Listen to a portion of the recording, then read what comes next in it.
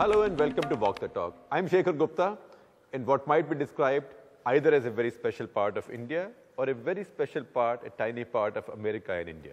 Uh, in the Roosevelt House, the home of the American ambassador for more than 50 years now.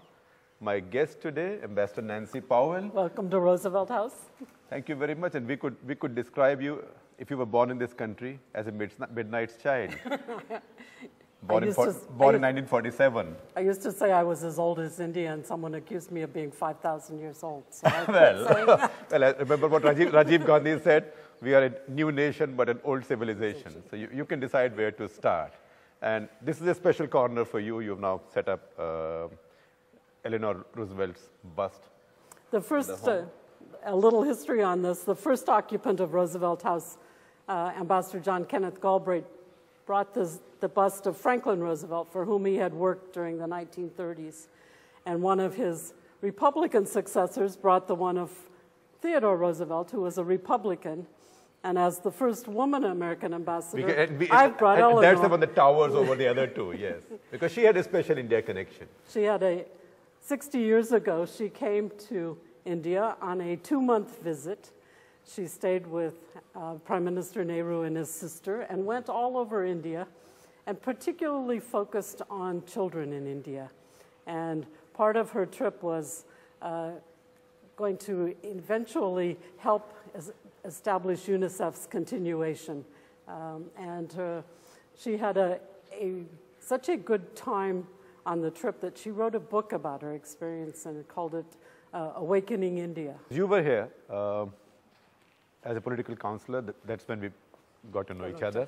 Yes, uh, when Narasimha Rao was Prime Minister and Dr. Manmohan Singh was Finance Minister. I came to Calcutta first in 1992 yes.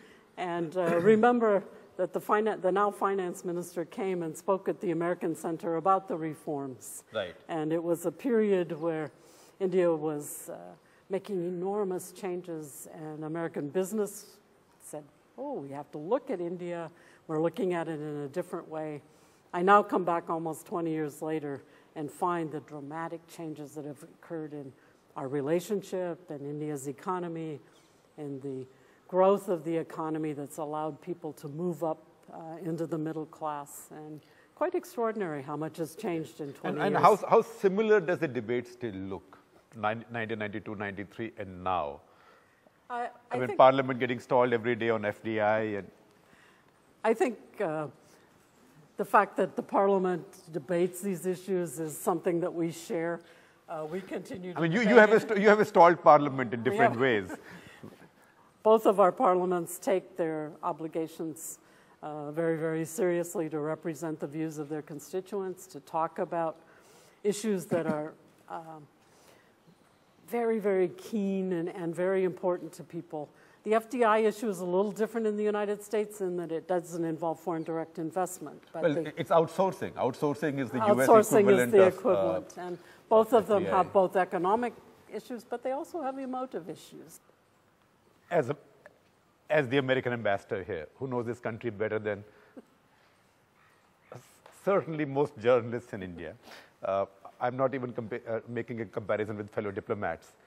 How do you look at what's happened lately, particularly with, uh, with the so-called Walmart uh, revelations or disclosures of lobbying? Uh, I, I think that. Do you, do you sit back and say this will pass? What's the view? I mean, no, the, view, I, the view in Parliament is that all this money was spent to bribe Indian politicians, bureaucrats, journalists. I think there's a, a couple important points to make on this from the U.S. side.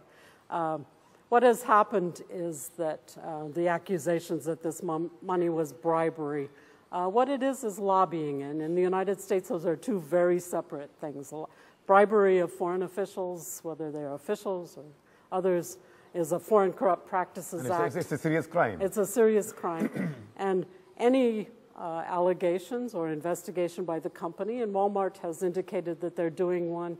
Uh, our Department of Justice and the Securities and Exchange Commission will look at that.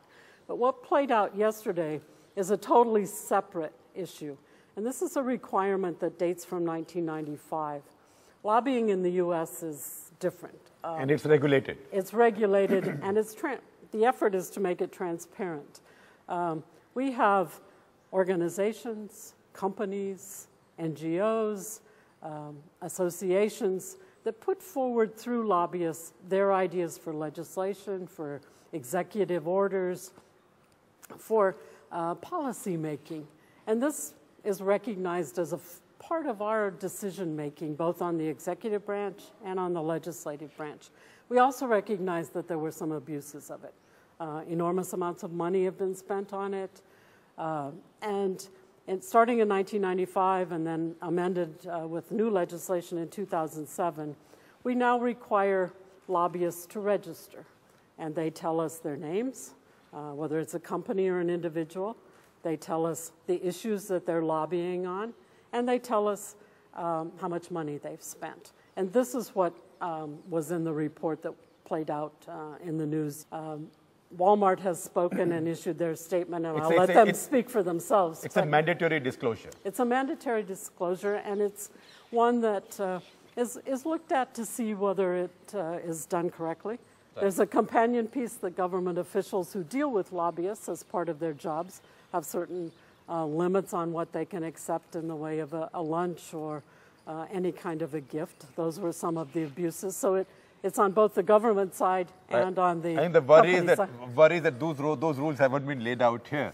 The other point I would make on this is that these uh, regulations and the disclosure are for expenses in the United States. Right.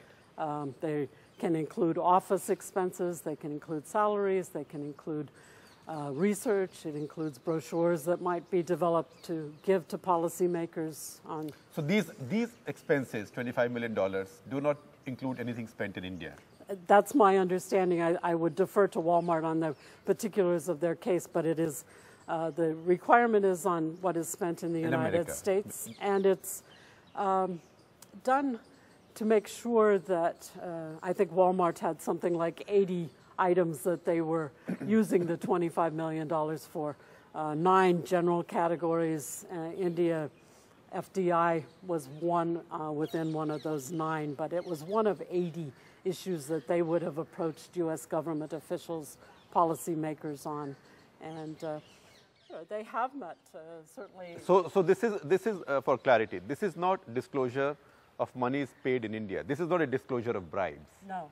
Right. Uh, because, no, because nobody discloses bribes. This is a disclosure of lobbies. But there is another, investigation. another investigation and a requirement to report any indications that there might be a problem.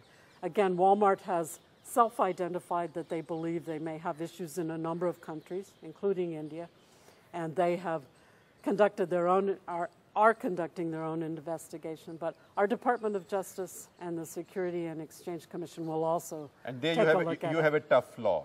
We have a very tough about law. your companies indulging in corruption overseas if they did. India's number one news app just got even better. Download NDTV's new app, fully optimized for Retina display, full screen view, faster response time and Sudoku. NDTV's new iPad app. Download now.